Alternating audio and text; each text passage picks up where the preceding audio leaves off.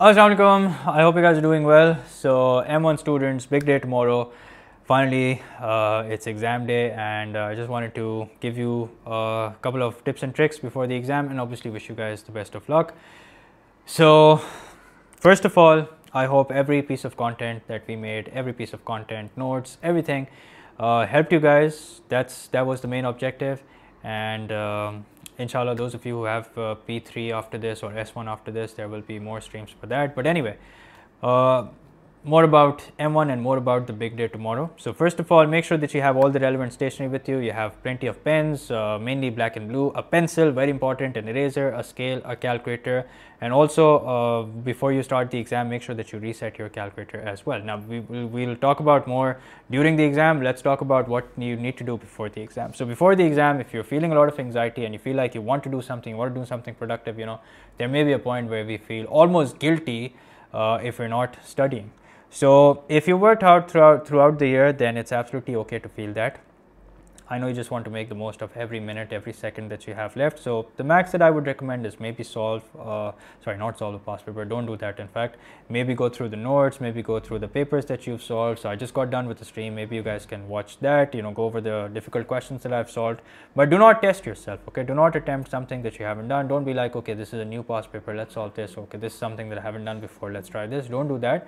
Otherwise, you'll just go into a state of panic. You'll end up making matters worse. Okay.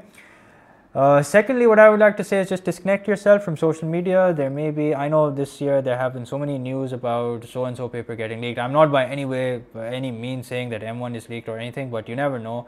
Uh, there may be some rumors, people might end up sending you fake screenshots, so don't fall for that. So just disconnect yourself. Whatever happens, will hap- let it happen tomorrow. There's nothing you can do about it right now. Okay, so disconnect yourself and uh, just spend time with yourself. Go over your notes like i said if you really feel like studying. Otherwise i would suggest just lie down go to bed uh, go to sleep okay?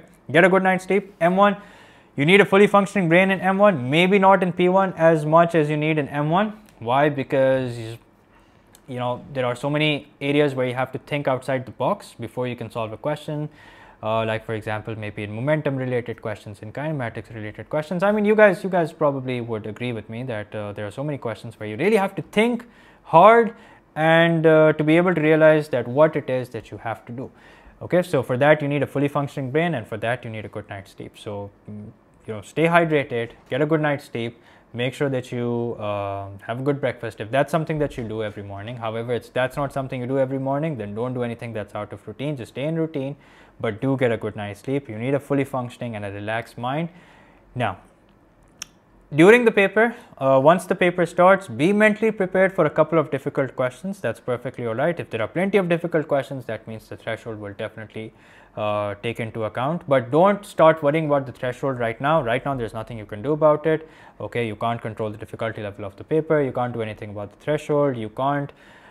You, you what you can do is basically how you spend these last couple of hours and these last couple of hours will literally make or break how you perform in the exam okay so you want to be extremely extremely careful so yeah go through the paper be mentally prepared for a couple of difficult questions. When you're attempting the paper remember to make a rough sketch. I mean we've solved some past papers we've gone over examiner reports we've seen how the examiner wants students to make a rough sketch and the examiner says that students who do make a rough sketch are better able to interpret the question and are better able to solve it as well. So make a rough sketch whether you're dealing with kinematics, whether you're dealing with momentum, whether you're dealing with forces. If you're dealing with forces, then make sure that you make a sketch where you break down all the forces, you show all the forces in which in this direction that they're acting and um, if an object is about to move down then show that with double arrows so that you know that friction will be acting in the opposite direction. So these are just some very specific cases that i'm talking about. And uh, generally i would say just be careful you know go the extra mile. If you have to do some extra working then do that extra working. If you know this working will help you uh, will prevent you from making an error uh, if let's say there's a question where you have to find out area under the curve, you guys know you can do it in your calculator directly to ch check your answer. Okay, emphasis on the word check. So we only do it to check your answer. You can solve simultaneous equations, you can solve quadratic equations, you can do area under the graph, you can differentiate also. Okay, so I've talked about that in P1.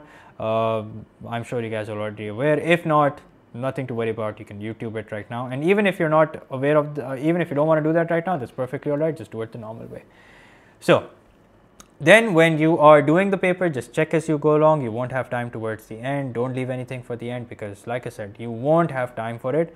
it's best that you check as you go along. In M1, timing can be a major, major issue, not as much as it is in P1, even not as much as it is in S1, but in M1, it can be a major problem because you have to think the working is also sometimes very lengthy. So it can be a major problem. So don't waste time, don't look around and see what so and so person is doing or why so and so person is not doing anything. That's a total waste of time. Just focus on your paper. Think of it this way that it's just you and your paper, and that's it. There's nobody else in the hall. Okay. And if let's say during the exam you have a panic attack, I really hope that's not the case, but God forbid if you do, then just take a few deep breaths, just drink some water, and gradually inshallah your senses will come back and then you can restart okay? So just just be positive with yourself you know before starting the paper just you know just motivate yourself just have a little pep talk with your own self that you know the paper is i'm going to ace the paper inshallah or i'm going to do well in the paper. I've worked really hard for it and you know then uh, inshallah it will definitely make a difference so yeah, uh, if uh, in between you get an answer which is not exact, remember to give it at least correct to four or five significant figures. If you're using that to get to the final answer, and in the end give your answer correct to three significant figures. But during this time, throughout, make sure that you're reading the question carefully, unless the question has a specific requirement. If you're asked to maybe find out the resultant and the direction, then be careful about how you give the direction. Be specific. Be very clear. So think of it from the perspective of the examiner that if you want uh, if you are the examiner, you're the person who's checking the paper, how would you like the solution to present to be presented to you?